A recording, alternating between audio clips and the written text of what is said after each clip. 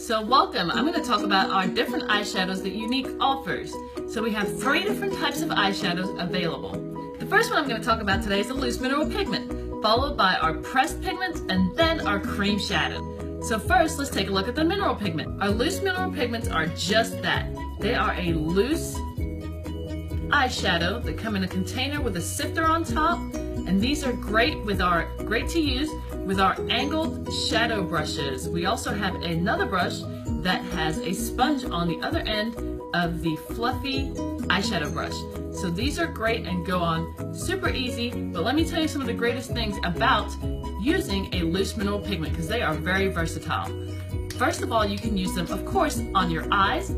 Second of all, you can use them on your lips and you can create your own lip gloss. Just take a clear lip gloss and the pigment of your choice and then mix them together and you get a perfect lip color uniquely for you. The third way that you can use the pigments is as an illuminator. You just take the pigment of your choice. There are four different ones that I would recommend as an illuminator.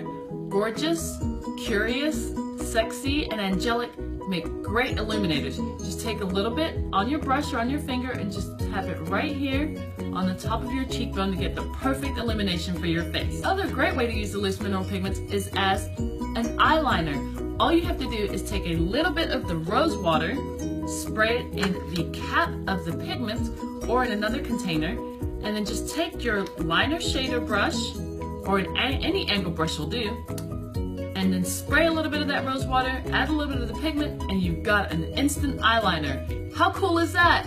That's why I love the pigment so much. There's so much you can do with them. The other pigment option that we have is our pressed pigments, and we have five different palette options. Let's take a look. Our most popular palette is palette number one. It has your nude neutral colors in browns, some nice shimmery colors available. Pressed Pigment Palette is one of my favorite options simply because you have all the colors you need at your fingertips in a palette. Last but not least is our cream shadows, and they come in shimmer and matte. Take a look at one of our cream shadows. And this is our cream shadow brush.